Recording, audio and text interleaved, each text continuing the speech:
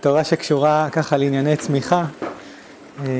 טוב, אז קודם כל, כרגיל, ראשית נקרא אותה ונתבשם קצת מכוחות רבנו, ואז ננסה ככה להבין אותה יותר, ב, יותר בנחת, משפט משפט. תורה קנ"ה, ליקוטי מאורן קמא. עצבות ומידה רעה מאוד. ומה שהאדם אינו נוסע להצדיק, ומחמת עצבות וכבדות.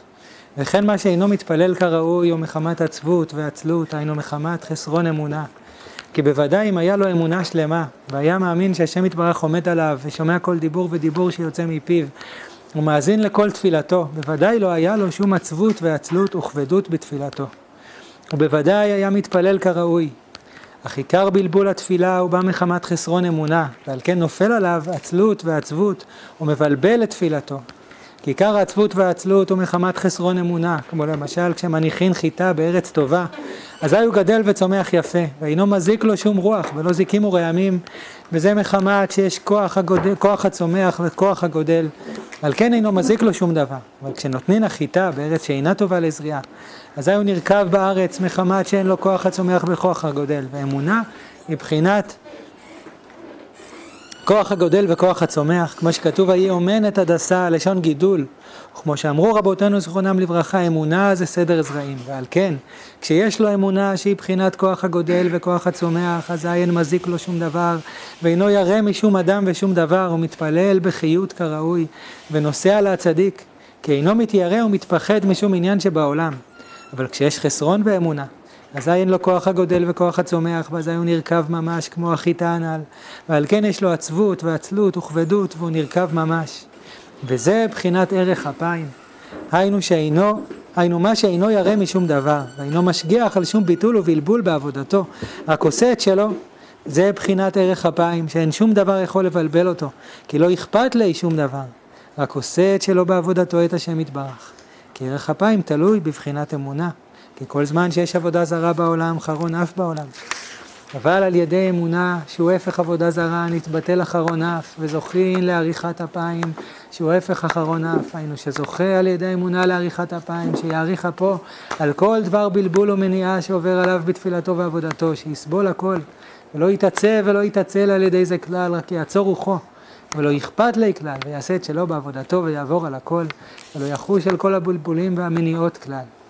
שכל זה הוא בחינת ערך אפיים, שזוכין על ידי אמונה, שהוא בחינת כוח הגודל וכוח הצומח, כי על ידי זה הוא גדל וצומח ומצליח בעבודתו, כי לא יוכל לבלבלו שהוא מונע להפילו בעצבות ועצלות חס ושלום, או למונעו על ידי זה חס ושלום, רק יעשה את שלו בזריזות ושמחה, ולא יסתכל על כל הבלבולים כלל, שזהו בחינת ערך אפיים, בחינת אמונה, בחינת כוח הגודל וכוח הצומח כנ"ל.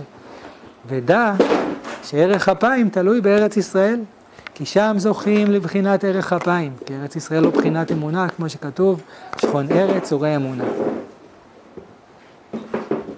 כמו שאמרו רבותינו זכרונם לברכה, כל הדר בארץ ישראל דומה כמי שיש לו אלוקה. נמצא שארץ ישראל הוא בחינת אמונה, ועל ידי אמונה זוכין לבחינת עריכת אפיים כנ"ל. דהיינו שלא יוכל לבלבלו שהוא מונע ובלבול מעבודתו כנ"ל. נמצא שעיקר עבודת איש הישראלי זוכין על ידי ארץ ישראל, שהוא בחינת אמונה, בחינת עריכת אפיים, בחינת כוח הגודל וכוח הצומח, שעל ידי זה זוכין להתחזק בעבודתו, ולבלי להסתכל על שום מונע ומעכב ומבלבל, שאי אפשר לזכות לעבודת השם באמת, כי אם על ידי זה וכנ"ל. בעיקר גודל ההשתוקקות וההתלהבות של משה רבנו עליו השלום, שהיה מתלהב לארץ ישראל כל כך, היה רק בשביל מידה זו של עריכת אפיים. מחמת שראה ששם, בארץ ישראל, זוכין לבחינת ערך אפיים כנ"ל. וזה שאמרו רבותינו זכרונם לברכה, וימהר משה ויקוד ארצה וישתחו, מה ראה? ערך אפיים ראה. היינו כנ"ל, כי מחמת שראה בחינת ערך אפיים, שהוא תלוי בארץ ישראל כנ"ל. על כן ויקוד ארצה, שהיה ליבו בוער לארץ ישראל, כדי לזכות לערך אפיים כנ"ל. וזה שאמרו שם, וחד אמר אמת ראה. מר אמר חדה, או מר אמר חדה ולהפליגי. כי ארץ ישראל הוא בחינת אמת, כמבואר במקום אחר. הוא מסיק שם בגמרא, שמע מינה, ערך אפיים רע. כי עיקר הוא בחינת עריכת אפיים כנ"ל, וצריך כל אדם לבקש מהשם יתברך, שיהיה לו כיסופין וגעגועים לארץ ישראל, וגם שיהיה געגועים לכל הצדיקים לארץ ישראל. והוא סגולה, שיהיה, והוא סגולה להכעס ולעצבות. כי כל הכועס כאילו עובד עקום. אבל ארץ ישראל הוא בחינת אמונה, בחינת ערך אפיים, הפך הכעס. וזה שקודם קריאת שמע שהוא אמונת הייחוד, היינו, אנו מבקשים, הוא יוליכנו קוממיות לארצנו, היינו שאנו מבקשים שהוא אמונת הייחוד, אנו מבקשים, וזה שקודם קריאת שמע שהוא אמונת הייחוד, אנו מבקשים ויוליכנו קוממיות לארצנו, היינו שאנו מבקשים ומתגעגעים לארץ ישראל ועל ידי זה זוכים לאמונה, היינו קריאת שמע שהוא אמונה. יפה אומר אם מי שנמצא בחוץ לארץ הוא עובד עקום, אז מי שנמצא בארץ ישראל הוא עובד, עובד ישר. זה כאילו. אה, אז מה זה הישרות הזאת, כן, של ארץ ישראל? אז נתחיל ככה קודם, אה, משפט משפט. עצבות הוא מידה רעה מאוד. ומה שהאדם אינו נוסע להצדיק, או מחמת עצבות וכבדות. כן? זה הפוך כאילו, מה? אה, טוב, אז על זה שאמרו, כן, ש... אה, לנסוע, שאומן זה בחינת ארץ ישראל, אז ארץ ישראל ממש, כן. אז... טוב, זה כאילו באמת המקום של, אה, כאילו רבי נחמן אמר, אמר על עצמו שהוא, שהוא בחינת ארץ ישראל, מקום פטירתו הוא בחינת ארץ ישראל. אז באמת זה, יש, מעניין המקום הזה של... כן, מקום, מקום התאמנות הצדיקים, יש בו מהאור של ארץ ישראל, יש איזה קשר בין הדברים האלה, שאולי הוא באמת גם קשור ליסוד התורה כאן. אה, יש לנסוע להצדיק ולנסוע לארץ ישראל. עצבות הוא מידה רעה מאוד, ומה שהאדם אינו נוסע להצדיק הוא מחמת עצבות וכבדות, וכן מה שאינו מתפלל כראוי הוא מחמת עצבות ועצלות, היינו מחמת חסרון אמונה. אה, אז קודם כל רבי נחמן כאן קושר בין שתי תופעות שזה לא מובן מאליו לזהות ביניהן. כאילו, שמה הן? שתי תנועות בעבודת השם, שרבי נחמן קושר ביניהן, מזהה אותן אפילו. שמה הן? אה, במובן החיובי, כן, אתה צודק גם. כן, זאת אומרת, לנסוע לצדיק ולהתפלל. כן. ושניהם, המניעה שלהם זה עצבות ואחבות, ועצבות וכבדות, שהם חסרון אמונה. אז מה, מה הקשר בין, בין אה, נסיעה לצדיק לתפילה? אחרי זה ננסה להבין מה, מה בעצם המענה האחד שיש באמונה לשניהם. אבל קודם כל זה מעניין, הקישור הזה.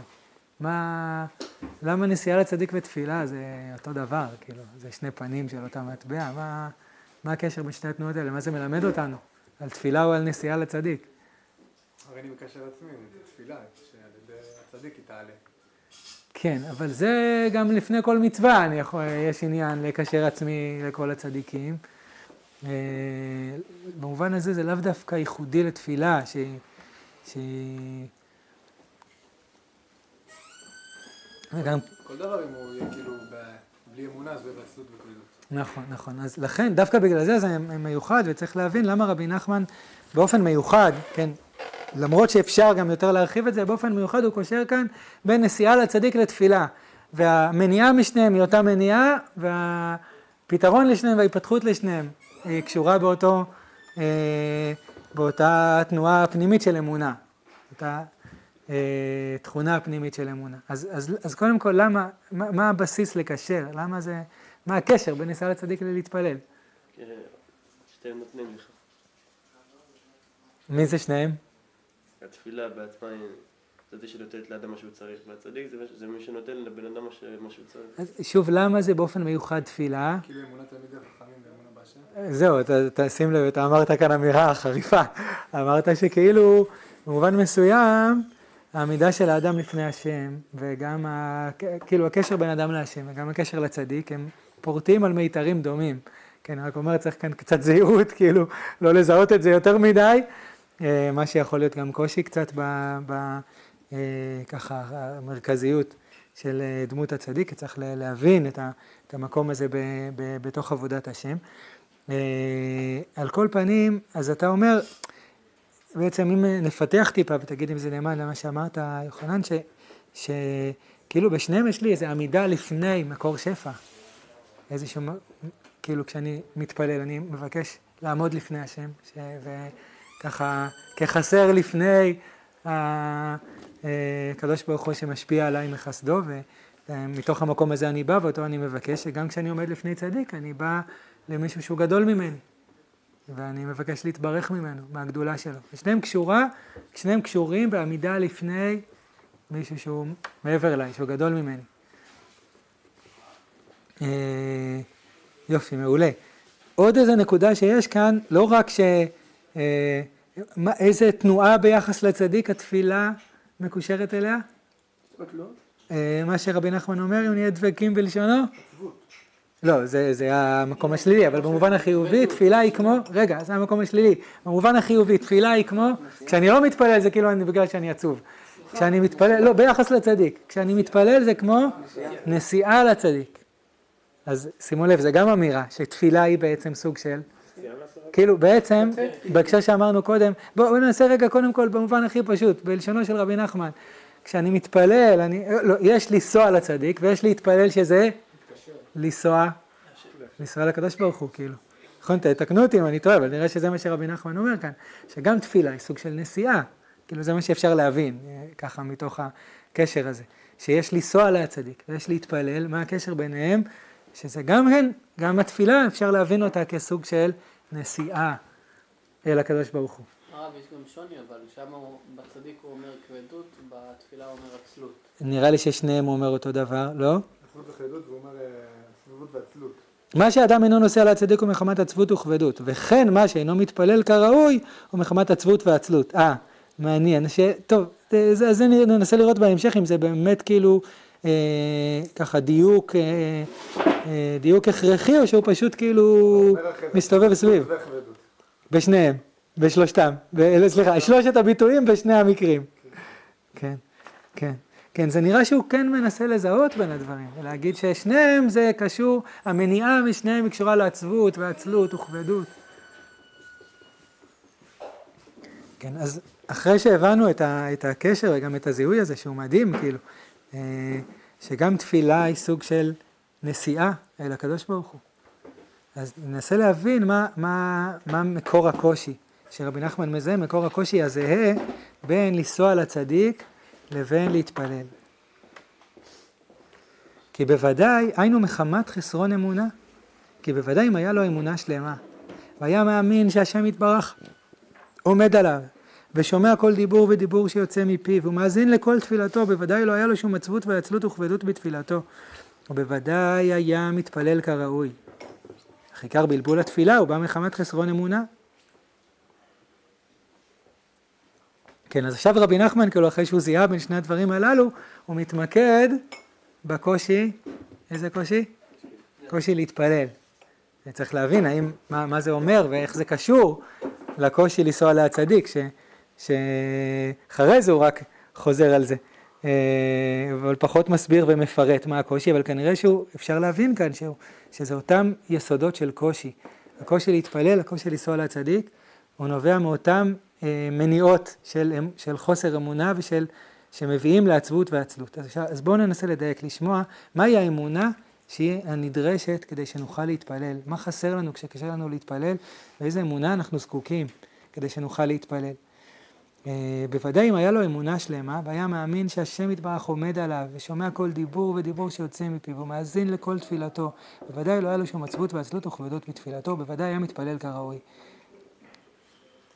מה קשה לי להאמין שבגלל זה הרבה פעמים קשה לי להתפלל?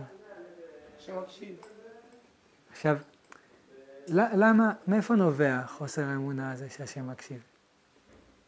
למה באופן ראשוני קשה לי להאמין? שהקדוש ברוך הוא מקשיב לי. אני לא מדבר על תפילה. מה? אני לא אומר רק תפילה, אני אומר גם עוד דברים. אז מה? ואז אם אני אומר עוד דברים, אני לא חושב שמקשיב, כי אני אומר גם דברים הרעים, גם דברים שהם לא אה, מתחילה להשם.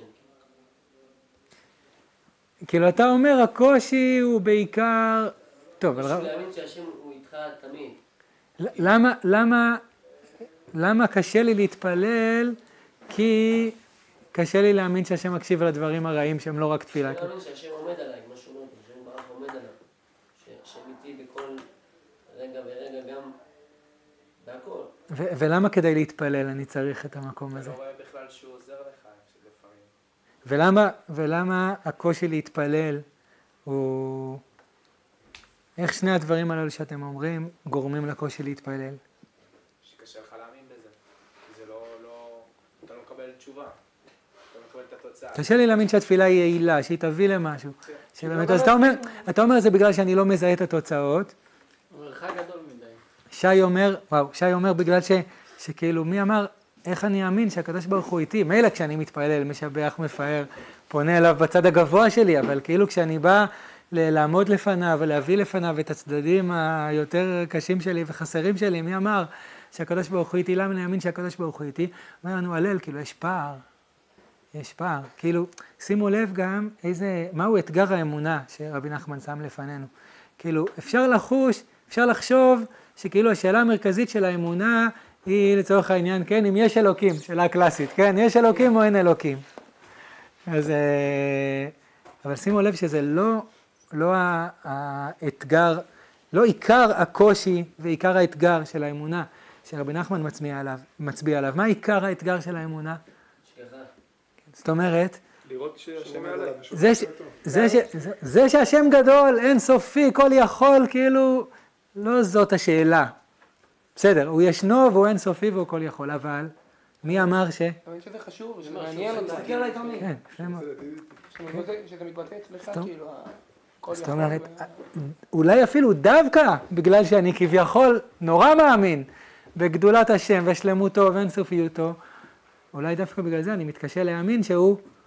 שהוא קשור, קטן, כאילו, אני מתקשה להאמין. דווקא בגלל גדולת השם, אני מתקשה להאמין שהוא קשור אליי, כאילו. שיש איזו זיקה בכלל, ויש איזה מקום, ל, ל, ל, יש איזו יכולת לתקשר את המקום שלי, כמו שאמר שי, מילא המקומות המפוארים שלי, הרוחניים, הגבוהים, אבל יש בתוכי, יש לי בחיים שלי ובעצמי, באישיות שלי, גם מקומות נמוכים ולא פתורים, חסרים וקשים. איך את המקומות האלה? האם בכלל הקדוש ברוך הוא מעניין אותו המקומות האלה? האם... ד... להפך, דווקא בגלל כזה גדול, אז כאילו... אז אני כל כך רחוק ממנו. ומה מה בכלל יכול לאפשר את התקשורת ביני לבינו? שימו לב איך זה מואר יפה, גם בהקשר של הנסיעה לצדיק, איך רבי נחמן מבין את עיקר הקושי לנסוע לצדיק. למה קשה, לפי זה כאילו, למה קשה לנו לנסוע לצדיק? זאת אומרת. זאת אומרת, גם, גם נכון. חסרון אמונה שמה? שרבנו מחזיר. סבבה. טוב בוא נגיד ככה, זה אולי תורה בפני עצמה, כאילו, מה כאן רבי נחמן, אה, לא עומד עליי. זאת אומרת, באים על האנשים, מה עכשיו אני? כאילו, יש שם 50 אלף איש עכשיו אצל רבנו פרשנה. מה? יש שם גם, גם המון המון המון אנשים, מי אמר- שהוא, עובד, השאלה אם זה יעבוד אצלי, כאילו. זאת אומרת, יפה, תפרט קצת. ברור, יש עניין כזה, אבל... בסדר, אני, זה נכון להרבה אנשים אחרים להגיד להם, כן, תיסע, זה אחלה וזה, אבל אני לא יודע. למה? גם עצלות, הרב, ככה כותב פה. לא, אבל זה, הוא מפרט אבל, הוא אומר, העצבות והעצלות הם חס, קשורים בחסרון אמונה, זה לא סתם כבדות פיזית, זה קשור לאיזה איזה חסם נפשי כלשהו. ש... המרחק בינינו גדול מדי. זאת אומרת, כאילו, אני פה, הוא שם, דווקא בגלל שהוא צדיק, דווקא בגלל שהוא כזה גדול וטהור וקדוש, דווקא בגלל שאני נורא נורא נורא מעריך אותו, מעריץ אותו, עפר לרגליו.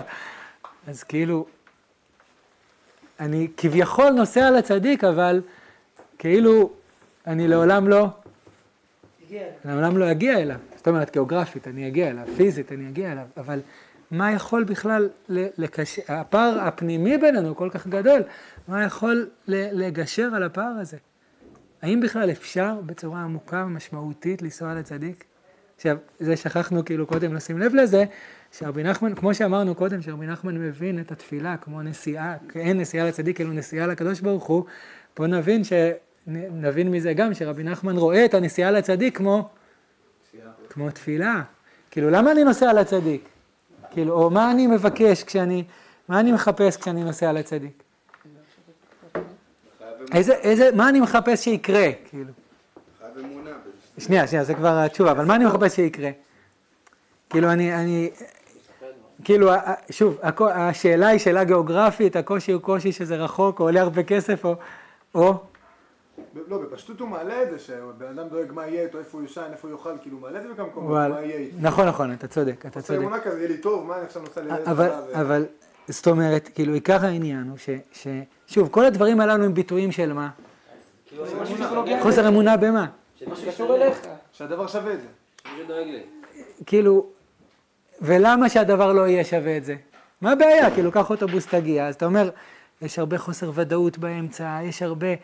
אבל אם, שוב, אם אנחנו שמים את זה על הציר של תפילה, הרי שים לב, כאילו רבי נחמן אומר, זה אותו קושי, להתפלל אתה לא צריך לנסוע בשום רכבת. זה לא בעיה גיאוגרפית ולא בעיה של תנאי שטח. זה בעיקר בעיה של, אמונה. של אמונה, שממה נובעת שוב הבעיה של אני האמונה. ביום שלי, כאילו, ואם משהו באמת תצליח להוציא מתוך האפוריות הזאת, זה באמת יקרה משהו, אני אלך ואני אחזור בן אדם אחר, כאילו. כן, זאת אומרת, אני מחפש פה מסע פנימי, שינוי. והצדיק, עיקר הקושי זה לא שהצדיק הוא רחוק ממני גיאוגרפית, הוא רחוק ממני פנימית, הוא אצל הקדוש ברוך הוא, ואני פה, אני בתוך הדפוסים של החיים שלי, בתוך ההרגלים, בתוך החסרונות, בתוך הדחפים והיצרים, ולא לא משנה מה. והרי בשביל זה אני רוצה לנסוע אליו, נכון? זה, זה עיקר העניין שבשבילו זה, זה אולי משמעותי, אבל דווקא בגלל, ש, דווקא בגלל המקומות האלה, אני עם סימן שאלה, כאילו. הוא בטהרה ובקדושה שלו, אני בתוך הפגמים שלי. למה שיקרה משהו, כאילו? אז נסעתי גיאוגרפית, אבל האם משהו באמת הצליח להיפגש, כאילו? האם יש אצל הצדיק, האם יש בכלל איזה נקודת קשר, יש איזה מקום כזה, שבו העולם של הצדיק קשור גם ונוגע גם ומתייחס גם לתוך העולם שלי? האם יש סיכוי שהעולם שלי, עם השפלות והחסרונות שלו, של עיקר הדבר שבשבילו אני רוצה לנסוע או להתפלל, יש סיכוי שהמקום הזה יפגוש את העולם של הצדיק? כאילו אם יכול להיות פה שינוי. כן, נכון, נכון, נכון. אם באמת יכול להיווצר מפגש בין המקום שלי, איזו תנועה, בין המקום שלי לבין המקום של הצדיק. אז אה, על בסיס מה, כאילו, במובן הזה, השאלה הגיאוגרפית או של תנאי השטח היא שאלה משנית, והרבה פעמים היא לבוש בעצם לקושי הפנימי, כאילו, לנסוע אל הצדיק זה לנסוע לאיזה מקום שהוא מעבר אליי. אז כשאני בתוך האזור המוכר, הידוע, הנשלט, אז אני יכול לסדר את העניינים. פה אני משליך את עצמי על איזה לא נודע. לך תדע מה יהיה, אז הרבה פעמים אני משליך את זה על כל, כל מיני קשיים פיזיים, גיאוגרפיים, אבל הרבה פעמים בעצם זה, זה שאלה הרבה יותר פנימית, כאילו אשלח את עצמי לאנשהו, האם באמת הגעתי, אם יש סיכוי שאני אגיע, שייווצר מגע ומפגש? אז, אז איזה אמונה אנחנו צריכים, כאילו שימו לב, שאיך רבי נחמן מנסח את האמונה, ש, ש, אה, שהיא ה, ה, כן, התנועה הפנימית, ההערה הפנימית שנדרשת בשביל שנוכל לעשות, אה, שנוכל לצאת למסע, ל, להאמין שמשהו באמת יכול להתרחש, שיכול יכול להיות מפגש פנימי בין אדם לבין הקדוש ברוך הוא ובין אה, אדם לבין צדיק.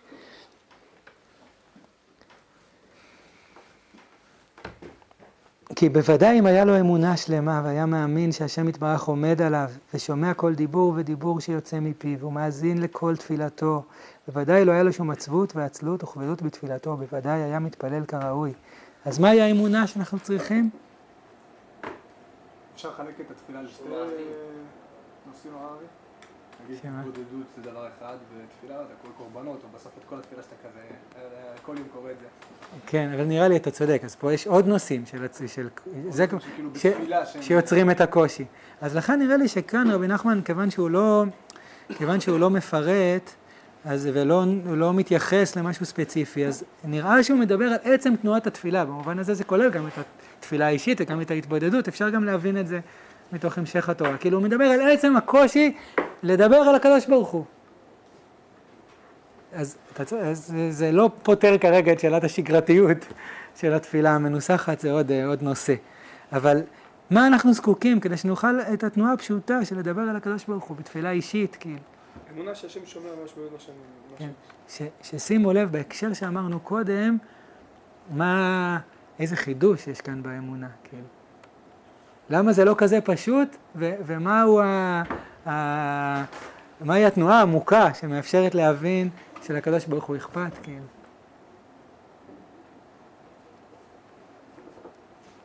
יש הרבה דברים פשוטים שאני כאילו לא חי את זה שהשם באמת יכול לשנות אותם. כאילו יש דברים שברור לי שהשם כאילו... למה לא נראה לי שהשם יכול לשנות אותם? הרי אני מאמין שהוא כל לא יכול. לא, כי הטבע הוא... יש דברים שיותר ברורים לי שהשם נוגע בהם, ויש דברים שהם כזה יותר צריך לעבוד כדי באמת לחיות בלב שזה... אז סתם דוגמה, לא יודע, כאילו... כלב נשך אותי זה יותר השם, מישהו הציק לי, בן אדם זה, זה פחות השם, כי זה יש לו רצון, יש לו בחירה. הבנתי, וואו. וואו, טוב, אז זה מעניין מה שאתה אומר, זה אולי עוד, עוד איזה היבט, אולי היבט אחר קצת, אולי, אולי לא בדיוק אחר, בואו ננסה קודם כל להבין את המובן הפשוט, כאילו, כי אולי יש עוד שאלות, אבל קודם כל הוא אומר, כאילו, הקושי הוא להבין ש, שבאמת זה נוגע לקדוש ברוך הוא, כאילו. שבאמת המקומות השפלים, החסרים, וה, ואותם מקומות שמשקפים את הפער ואת המרחק ש, שביני לבינו, הם מקומות שנוגעים אליו. שהעומק האלוהי והסוד האלוהי קשור לא רק בשלמות ואינסופיות לכשעצמה, אלא גם בלהתייחס אל המקומות השפלים והנפולים. במובן הזה, יכול להיות שגם מה שאמרת חן, אולי גם הקושי מול בחירה אנושית, שאני רואה אותה יותר כבן אדם ולא הקדוש ברוך הוא, אולי זה גם קצת קשור לזה. האם הקדוש ברוך הוא מטפל גם, גם ב- בתכונות, במידות לא טובות אנושיות, כאילו, או שלי, או של אדם אחר?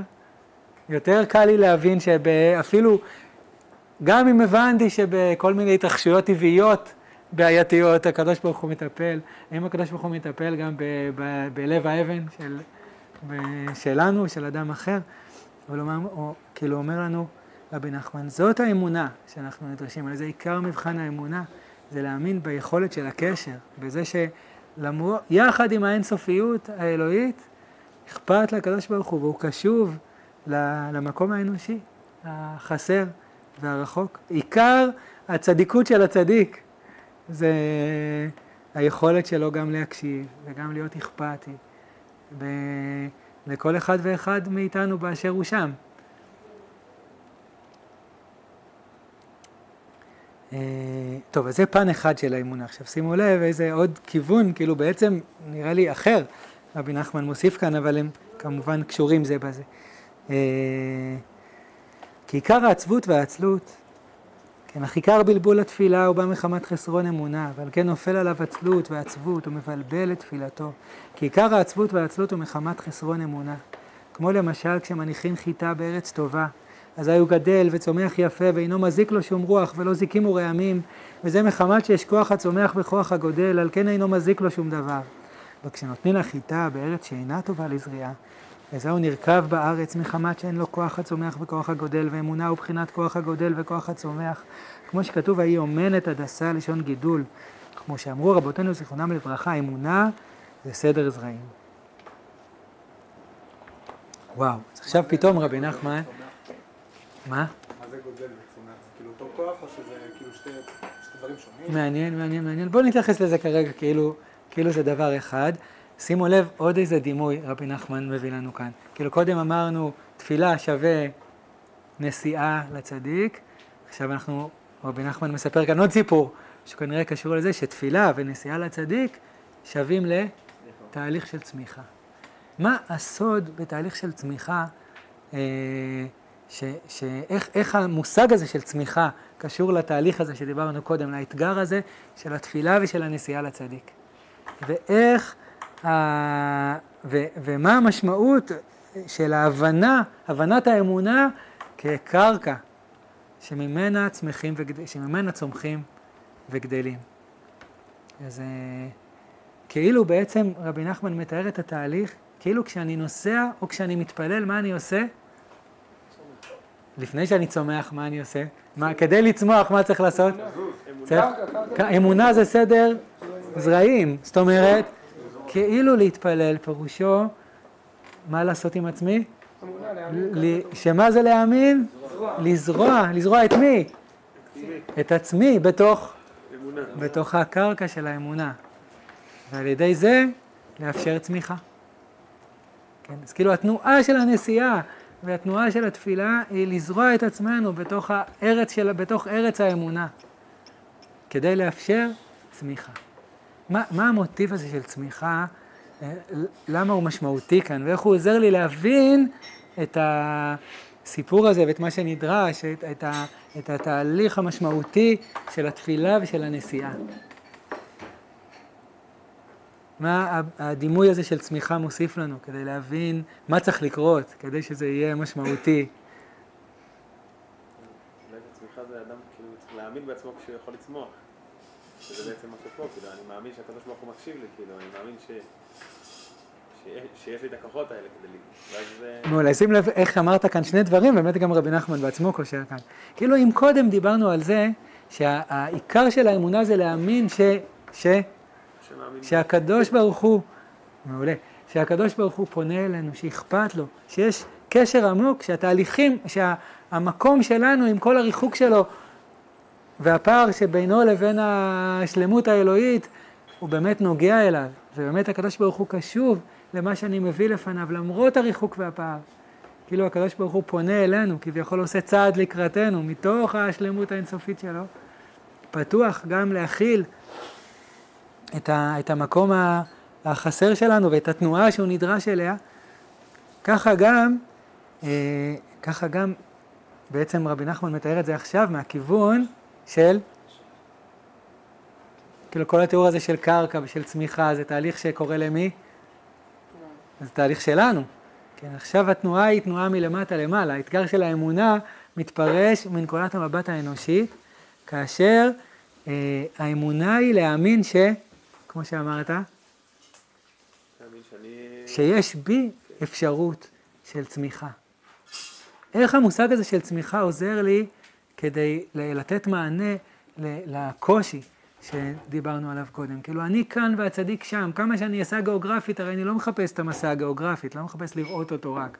אני מחפש להגיע אליו, מחפש שמשהו בתוכי ייפתח אל, ה- אל מה שהוא מביא, אל, האיכ- אל הקדושה, אל הטהרה, אל האיכות ה- הגדולה המוסרית שהוא מביא, אל קרבת השם שלו. מה, ואני כל כך רחוק מזה, מה, מה יכול בכלל ליצור את הלינק, את הקשר? מה המושג של צמיחה יכול לעזור לי? יכול לעזור לי בזה. מה, מה קורה בעצם בצמיחה? כאילו, מה זה עוזר כשאני אומר, שים לב, אתה לא נוסע אל הצדיק, אתה צומח אל הצדיק. אתה לא רק נוסע אל הקדוש ברוך הוא, אתה צומח אליו. קרב ללמעלה. כן, זאת אומרת, שיש כאן קודם כל תהליך ממשי. כן, מעולה, מעולה, שימו לב לשני הצדדים. כאילו, קודם כל יש כאן באמת תהליך ממשי. כאילו, תהליך צמיחה, פירושו שכן, קורה כאן, קורה, קורית כאן תמורה בקיום שלנו, מקבל באמת פנים חדשות, איזה איכויות חדשות, כוחות חדשים, אפשרויות חדשות, באמת צומחות בו. ומצד שני, זה מאוד מאוד חשוב לשים לב שהצמיחה היא לעולם מלמטה. זאת אומרת, אם עיקר הקושי הוא שאני כאן, הצדיק שם, ומה בכלל יכול ליצור את הקשר ביניהם? אומר לנו רבי נחמן, הסוד שיכול ליצור את הקשר ביניהם הוא סוד הצמיחה. שצמיחה היא מצד אחד אתה, לגמרי אתה כאילו. לגמרי אתה עם האישיות שלך ועם הכוחות שלך ועם מה שיש בך, היא לא איזה משהו אחר ש... שנולד כאן. כאילו, בעצם אני שואל את עצמי, כאילו, כמו שהעליתם את זה גם קודם, כאילו, למעשה, איך אפשר באמת להשתנות? איך אפשר שמשהו באמת משמעותי יקרה בחיים, כאילו? או שאני פה, או שאני שם. אני פה, הצדיק שם. מה יכול לקרות בינינו? הוא בתוך השלמות שלו, אני בתוך החיסרון שלי. מה בכלל יכול לקרות? אומר לנו רבנו, שים לב, יש בעולם אפשרות של, של צמיחה. של צמיחה, שצמיחה פירושו שזה באמת לגמרי אתה, ומצד שני זה כל פעם מקבל פנים חדשות. כאילו באמת הקיום הוא קיום שמסוגל להתפתח, שהוא לא תקוע בתוך איזה תבנית מסוימת ואפשרויות מסוימות. יש אפשרות שאותו דבר עצמו מקבל פנים חדשות. והוא באמת גדל, ובאמת כוחות חדשים ואפשרויות חדשות מתגלות בתוכו, וזה עדיין,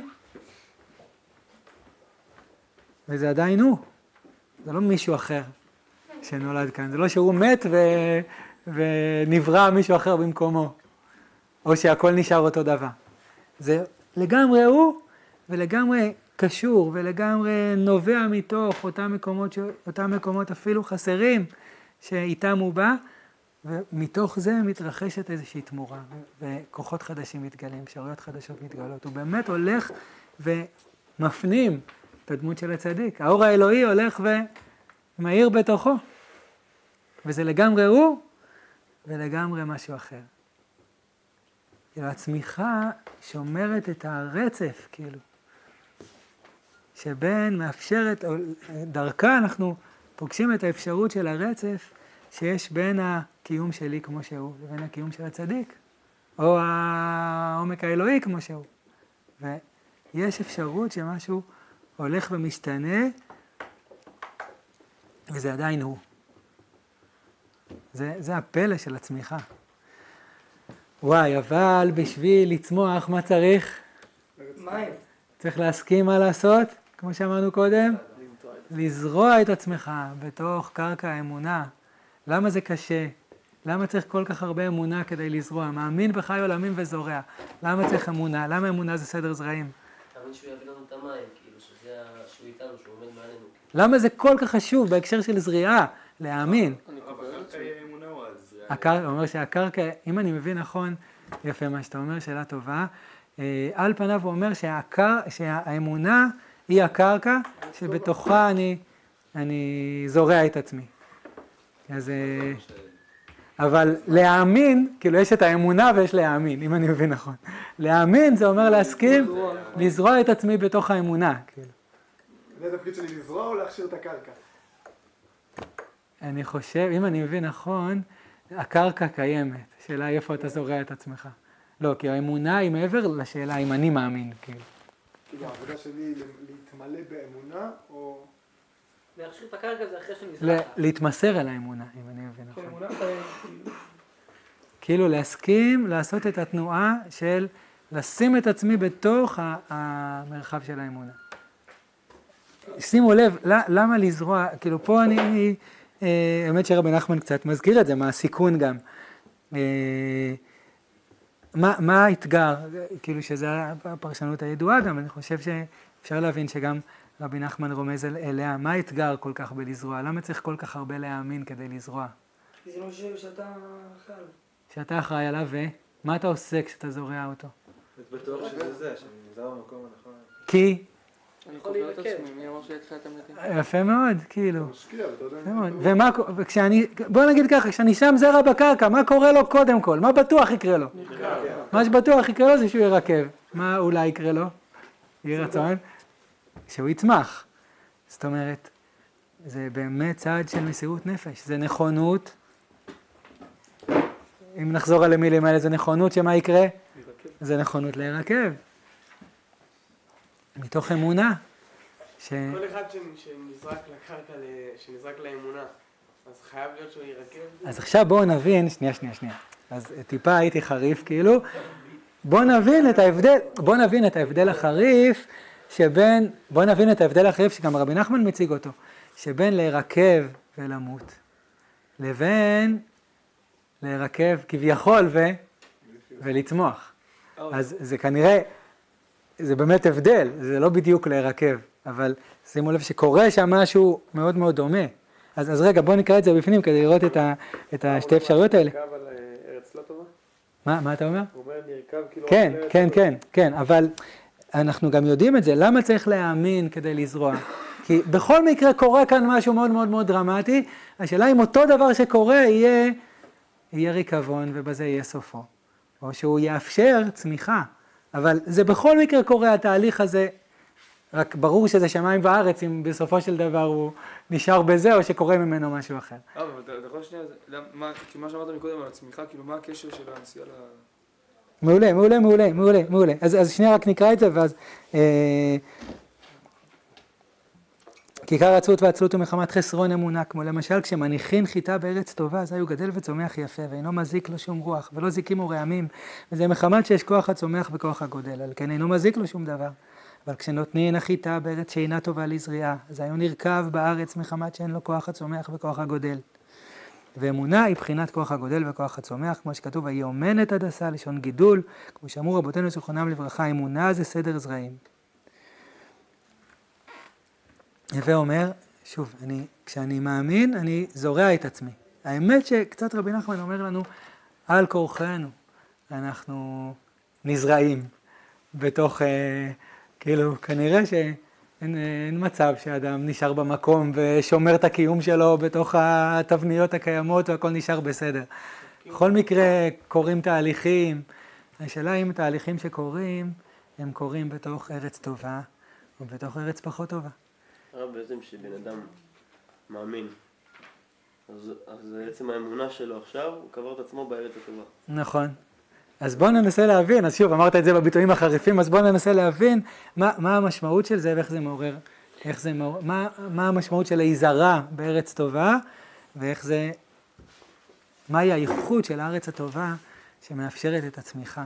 מה, מהו המרחב הזה של האמונה, שאם אני שם את עצמי בתוכו, אז אותם תהליכי ריקבון כביכול, הופכים להיות בעצם תהליכי צמיחה. אז, אז בואו ננסה להבין באיזה מובן כשאני נוסע לצדיק או מתפלל, אני זורע את עצמי. מה המשמעות של זה שאדם זורע את עצמו? שאין לי מקום בעולם. התמסרות. שוב, אבל זה, זה לא רק. שינוי, זה לא רק שינוי גיאוגרפי. תתן לזה עוד מילים. כאילו הכנעה בלב. להיכנס למקום, להיבלע במקום אחר. ואז מה קורה? מה, מה זה, מה זה, לא לא. מה זה אומר התהליכים האלה של ה... בוא ננסה לדמות את זה, כאילו, מה המשמעות בחיים האנושיים של תהליכים שדומים לריקבון של הזרע? כן, אתה אומר, אני נפתח. השליטה שלי, את הזה, אני כאילו הולך למשהו, וואי, מי יודע מה יש שם, אני כאילו... זה זה יותר למחוק גדול ממני, האישיות אני לא מבין בזה, אני... שוב? אני הולך על זה, כאילו, בלי שאני שואל. אני אחזור ואני לא ארגיש טוב בתוכי. שמה מתבטל? רגע, שוב, בוא ניתן לזה עוד מילים. רגע, מישהו אמר פה משהו על האישיות, אתה אמרת שנייה. למחוק את האישיות שלך, כאילו, זאת אתה. נרקב. הווה אומר, אני מישהו מסוים, אני מכיר את עצמי באופן מסוים, אני נתון בתוך דימויים עצמיים, בתוך הרגלים, בתוך תמונת חיים, מכיר את עצמי כמו שאני, לא כיף לי כל כך עם איך שאני, אבל זה מי שאני מכיר, כאילו. זה תעודת הזהות שלי. כשאני, כמו בכניסה להר הבית, כידוע, לפני שנכנסים להר הבית צריך למסור את תעודת הזהות שלך, ולך תדע אם תקבל אותה חזרה. אה, צריך להאמין, כן. על כל פנים, כאילו, זה, כש, כאשר אני נוסע לצדיק, כאילו, שימו לב, יהי רצון שנפחד קצת, ואז הוא פחד ורחב לבבך. זה אמור להיות מפחיד. לפני שאני מתפלל, אני מוכן למסור את איך שאני מכיר את עצמי. את השליטה שלי, ואת ההבנה שלי של מי אני ומה העולם, ומה המציאות, ומה החיים שלי ואיך הם נראים, ולהסכים ש... מה יקרה? שיקרה שינוי בתוכי, שאני אתגלה בפנים חדשות. תפילה יכולה לתקן את זה? ש, שהתנועה של התפילה תפתח אותי לאפשרות חדשה של קיום, של עצמי. אז אה, שמתוך זה שהייתי נכון למסור את איך שאני מכיר את עצמי, משהו חדש יצמח. והמשהו החדש הזה שיצמח הוא לא יהיה זר לי, הוא לא יהיה מישהו אחר. עוד יותר מפחיד, הוא יהיה אני בפנים חדשות. אבל זה לא מפחיד, כי אתה יודע שזה פנים טוב, שזה יהיה משהו שזה טוב. אני אולי עם הצדיק, אתה, אולי בתפילה, לא יודע. אני אומר, אמיתית, אמיתית, אמיתית, כמדומה לי ש, שזה ככל ש, שכדי שזה יהיה אמיתי, או אחד הסימנים לזה שהולך לקרות משהו אמיתי, זה שזה מפחיד, כאילו. קודם כל זה מפחיד. כי באופן טבעי, אנחנו לא מכירים את עצמנו באפשרויות החדשות, ומשהו בנו נוטה ל- להתקבע ולשמור על עצמי בתוך הראייה שאני רוצה להיות צדיק, אבל משום מה זה לא קורה באופן אוטומטי, למרות שאני נורא נורא רוצה, כי משהו אחר בתוכי אומר, אבל הצדיק הוא הצדיק, ואני, אני אבי, אני לא הצדיק, כאילו. אז, אז, ולתת אמון בזה ש, שהקיום שלי יכול להתגלות כמשהו יותר צדיק, זה לא מובן מאליו בכלל, ואני צריך בשביל זה להסכים, לוותר על, ש... על תעודת הזהות שלי. ולהאמין שיש מרחב כזה שבתוכו הקיום שלי יכול לקבל, מתוכו הקיום שלי יכול לקבל פנים חדשות. אז שימו לב איזה דבר יפה קורה כאן, כי כאילו האמונה היא המרחב שבו הקדוש ברוך הוא מצידו, מה עושה? עומד אליי. זאת אומרת, מתוך השלמות שלו, האינסופית והטהורה והקדושה הוא, הוא נפתח, וזה לא סתם להקשיב, זה לא סתם להשפיע, כאילו. זה לא רק צעד, זה כאילו משהו בשלמות האינסופית, נפתח להכיל את המקום שלי עם החסרונות שלו ועם הפערים, מתגבר על הפער האינסופי ו- ופונה אל המקום שלנו. כאילו נפתח להכיל גם את ה... מה שהוא לא בדיוק הוא. ומצידנו, המשמעות של האמונה היא להאמין ש... שהקיום שלי יכול להיפתח ולפגוש ולהכיל ולהקשיב ולהפנים בתוכו לפחות משהו מ... משהו מי? משהו מהקדוש ברוך הוא, משהו מהצדיק. למה זה לא ככה נגיד בלימוד תורה?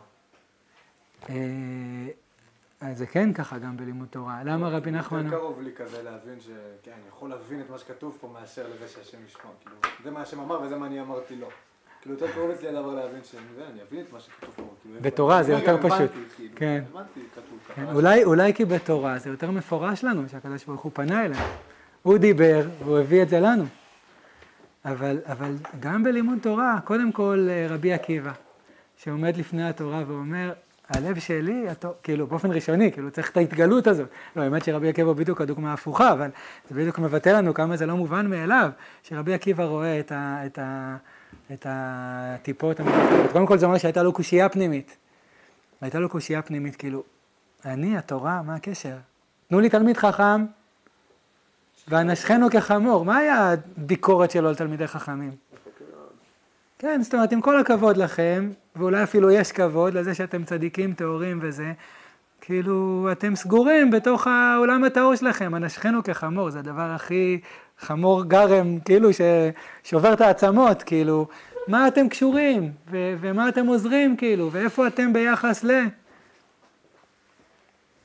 ככל שאתה צדיק יותר, כביכול, אתה מנוכר יותר לקיום שהוא לא צדיק. וכאילו פתאום רבי עקיבא קולט את הטפטוף הזה של המים, ואומר וואלה, כאילו, יש מצב שהתורה באמת יכולה לפתוח את הלב. הלב שלי לב אבן, כאילו, זה, זה החוויה שלו הרי, זה מה שהוא אומר, הלב שלי לב אבן, מה הסיכוי בכלל שמשהו יקרה?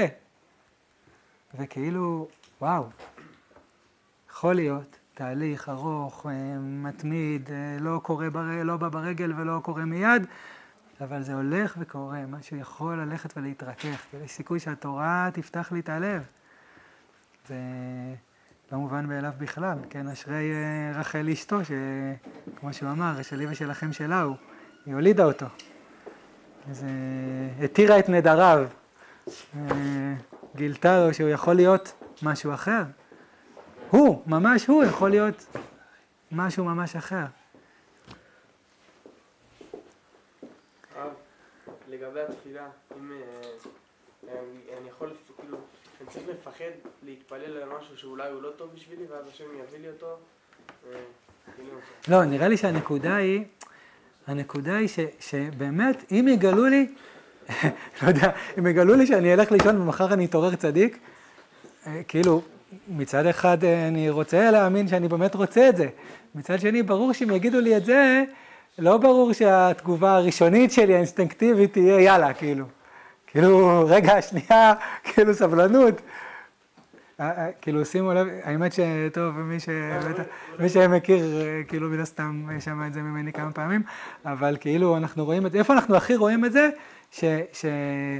אה, כאילו נניח בסיפור של עם ישראל, שאתה הכי רוצה משהו והכי מפחד ממנו באותה מידה, בבת אחת, כאילו. מתן תורה. מתן תורה, ממש, כל הכבוד. אשריך, בדיוק, כאילו, אישה אומר לך, עלות בהר ונגוע בקצהו, מיליון פעמים צריך לה- להזהיר אותם, כי כנראה שהם... כי, וברגע שהקדוש ברוך הוא יתגלה, מה הם יעשו? ראי, שנייה, לא, בסוף, אם צריך להזהיר אותם כל כך הרבה, זה אומר שברגע שהקדוש ברוך הוא יתגלה, כאילו, מה יקרה? מה הציפייה שיקרה? שהם ירוצו להר, וכאילו, "אוי, תעצרו, תעצרו, תעצרו. אישה מחלות בהר ונגוע בקצהו, בסוף הקדוש ברוך הוא מתגלה, מה קורה? כולם, כולם ישנים זה המדרש, קודם כל כולם בורחים. כן, כן. ויחרד כל העם אשר במחנה, אבל זה כנראה באמת ביחד, כאילו. אפשר להגיד, יש גם ביקורת על זה וכולי, למה לא עליתם בהר? אבל, אה, אבל כאילו בסוף, כאילו אחרי שכל השם נעצר, אבל על כל פנים, זה, זה שני פנים של אותו דבר, כאילו. הדבר שאני הכי רוצה אותו, אני גם הכי מפחד ממנו, למה? כי? כי זה שלם ו... ואני... תני לו. כן, זאת אומרת, כאילו זה הכי... למה אני רוצה אותו? כי אין לי אותו. כי הוא אחר ממני, כי הוא שונה ממני. וזה... אתה רוצה אותו, אבל זה זה ישנה אותך, כאילו, אתה נכון. רוצה בשינוי הזה, אבל אתה מפחד לעזוב את המקום שלך. נכון, לגמרי, לגמרי, אמרת את זה כל כך לא יפה. כאילו. זה, כבר אה, תיאור יותר פנימי של הדבר הזה. קודם כל לא יודע אם כיף, כי לא כיף לי, אבל לפחות זה נוח מוכר. כאילו מוכר, לא לשנות כן, והמקום הלא מוכר הוא מבחינתי כאילו, לא יודע. זאת אומרת, הייתי רוצה, אבל כאילו, אני צריך הרבה, כדי שאני אפתח אליו, אני צריך הרבה, אומץ, הרבה אומץ, איך שהרבה- איך רבי נחמן קורא לזה? ארץ חיה, ארץ טובה. הרבה אמונה. הרבה אמונה, שהיא הארץ הטובה, להאמין שזו אפשרות שהיא, שהיא אפשרות שלי. מה שזה, שזה. יכול להיות פנים חדשות, אבל זה לא פנים חדשות של איזה מישהו אחר שקדוש ברוך הוא בורא. זה, זה פנים חדשות שלי. אני יכול לשים את עצמי בתוך, בתוך המרחב של האמונה, והאמונה תגלה אותי בפנים חדשות. זו הנקודה העדינה של צמיחה, שמצד אחד זה כאילו לגמרי אותו זרע, ומצד שני זה פנים חדשות לגמרי. זה להאמין שזה בכלל אפשרי, זה, זה לא דבר אה, מובן מאליו בכלל, אבל הוא האתגר העמוק של, אה, של האמונה, לפי מה שככה, אם אנחנו מבינים נכון, מה שרבי נחמן אומר לנו. מה עם האמונה שהשם פונה אליי, כאילו? כאילו, למה זה כזה בטוח שיש קרקע של אמונה?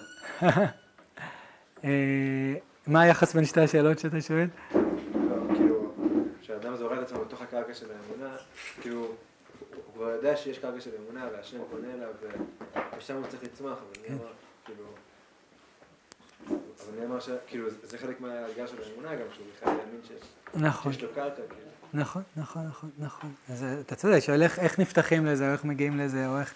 אז על, על כל פנים, אם אני, אם אני מבין נכון, קודם כל, אה, אה, שנשמע מכאן שרבי נחמן באמת מאמין בזה, מאמין בזה כאפשרות שקיימת בתוכנו.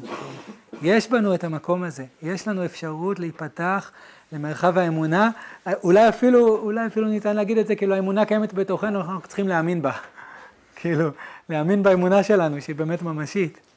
אז אה, אולי עוד איזה עוקץ שהוא אומר כאן, כאילו אומר, על פניו זה נראה שהוא מתאר כאילו יש שתי אפשרויות, או שאתה. או שאתה רואה את עצמך במקום טוב, או ש... זאת אומרת, כאדם אין לך פריבילגיה, מה יכול היה להיות כאילו? כאילו נשארת במקום ולא יזוז כלום. אומר, אה, החיים האנושיים הם דינמיים, כאילו. אין מצב ש, שהכל נשאר במקום. אז או, שה, או שאתה תופס את המציאות כמרחב, אה, כחלל ריק, שאין בו קשב ואין בו אפשרות, ואז אתה מתפרק, פשוט הולך ומתפרק. או שאתה מאמין שההתפרקות היא התפרקות אל, ה, אל המרחב האינסופי, שמאפשר לחיים שלך להתגלות בפנים חדשות. מהו הרקע, כאילו, מהי הק... מהו המקום שבתוכו המציאות נמצאת, כאילו, מהי הקרקע שבתוכו מתרחש הסיפור, מהו, מהו המרחב. אם המרחב הוא מרחב של ניכור, שבה כל קיום סגור בתוך עצמו, או שהוא מרחב שמאמין ב, באזור הביניים, כאילו, שגם, שיש קשר בין הקדוש ברוך הוא, בין העומק אינסופי לבין המקום שלנו, ויש קשר ממשי ואפשרי בין המקום שלנו לבין, ה, לבין העומק האינסופי. והמציאות, שום מציאות לא סגורה בתוך איזו תבנית קפואה. אה, יש אפשרות של תנועה, של תנועה וצמיחה. האמת ש, ששימו לב מה הביטוי שרבי נחמן משתמש בו, כאילו מה הסוד של ארץ ישראל מבחינת ערך אפיים. סתם, מה זה ערך אפיים? תרגום מילולי פשוט? זה תרגום מושגי. מה התרגום המילולי? אתה צודק. מה התרגום המילולי? אה, נכון, אף ארוך, אתה צודק. כן, שזה גם יפה, גם יפה. אז אה, כן, שמעתי פעם מהרב דב זינגר שמתרגם את זה כמו איזה אגזוז ארוך, כאילו, שלפני שהגזים ככה יוצאים בבום, כאילו צריך איזה... אה, זה קשור ככה לסבלנות. כי מדומה לי שאפשר לתאר אריכות אפיים גם כהפנים ארוכות, כן, שהאף במובן הזה הוא גם אה, ייצוג של הפנים, כן, כן, חוץ מזה שליהודים יש אף ארוך, כידוע. אז... אה. מה? כן, זה מה שהוא אומר כאן, לא? מבחינת ערך אפיים, וזה זה הסוד של ארץ ישראל. כאילו, זה כאילו שמישהו מנהיג אותך, אז עושה. כן, משהו כזה. יפה, יפה מאוד. מעולה, מעולה, מעולה. מעולה, מעולה. אז אם אני מבין נכון, זה קשור גם לאיזה גמישות, כאילו. זאת אומרת, הפנ... שהפנים, גם, גם שלנו וגם של הקדוש ברוך הוא, הפנים הן לא לחוצות, כאילו, הן לא תפוסות בתוך איזה תבנית קבועה, אלא יש אפשרות להעריך את הפנים. שזה קשור גם לסבלנות, כאילו אני פוגש איזה מישהו שהוא אחר ממני, שהוא מאתגר אותי, כן, רוח, אה, אה, זיקים, רעמים, בעזרת השם שלג עוד מעט, מה שלא יהיה, כאילו... אתה צודק, אוב, זה יפה, באמת, זה ממש ממש יפה, ממש יפה. כאילו, אם אני תקוע בתוך איזו תבנית קבועה של מה האפשרויות שלי ומה החיים שלי ומה אני אוהב ומה אני לא אוהב, מה... אז כאילו, ברגע שקורה איזה משהו מתנגד, אני מתפצלח, כאילו.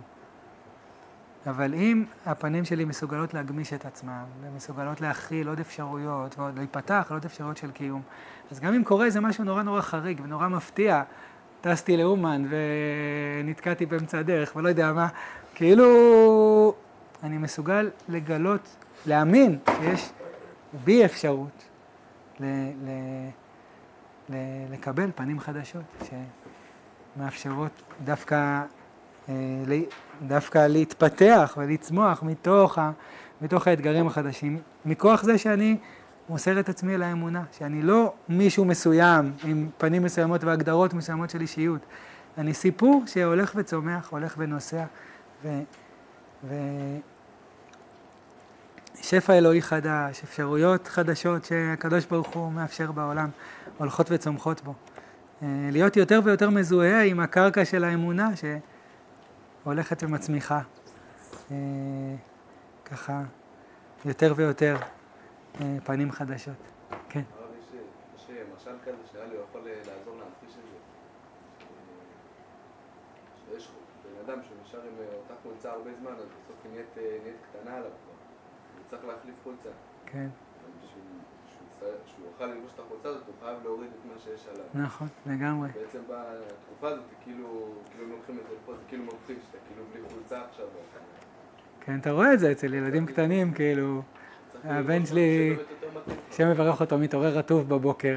הוא, לא- כאילו, הוא רטוב, אבל הוא לא מוכן, כאילו, זה נורא קשה על הבוקר, כאילו, ישר מורידים ממך את הבגדים, וכאילו, וואו, איזה פחד, או תינוקות, זה גם כאילו, בסדר, יהי רצון שנזכה להסכים ל- להוריד את החולצה ולקבל אה, לקבל פנים חדשות, להיזרע בקרקע של האמונה, באמת אה, להתפעם מסוד הצמיחה שהולך ומתרחש בעולם, ממש ברגעים האלה. זה הסוד של שבט, ש...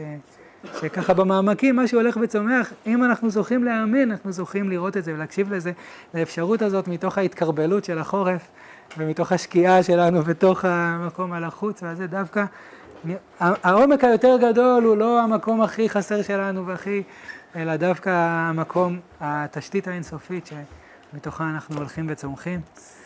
ו- יהי רצון. תודה רבה לכולם.